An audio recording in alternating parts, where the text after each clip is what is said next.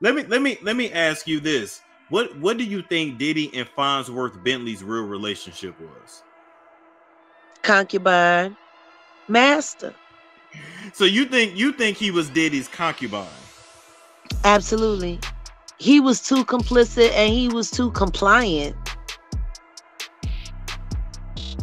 And he just disappeared. Okay, so it looks like Cassie's lawsuit didn't even begin to cover half of the things that Diddy did to her. In the two to three weeks since Cassie filed the lawsuit, more and more things have come out to show that there were a whole lot of things about Diddy that we didn't know at all, and that Cassie didn't even talk about in her lawsuit. Well, Jaguar Wright is here to save the day because she just came out to spill some very interesting tea, claiming that Diddy allegedly SA'd his former assistant Fonzworth Bentley, and he may find his slave. And y'all better strap up because it's about to be one wild ride.